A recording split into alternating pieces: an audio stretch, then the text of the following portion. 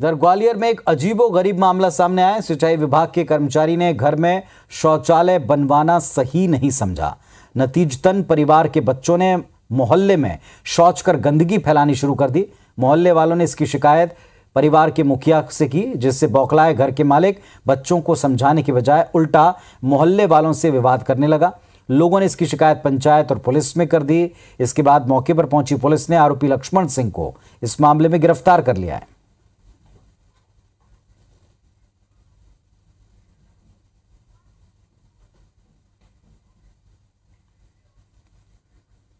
मकान बहुत अच्छा बना लिया था, मगर शौचालय बच्चों को, परिवार के बच्चों को बाहर करवाता था नाली में। तो उस बात पे से मोहल्ले वालों ने आपत्ति करी। लोगों की शिकायत पर से घाटी गाँव पुलिस द्वारा उसके विरुद्ध एक सौ इक्यावन की कार्रवाई की गई थी।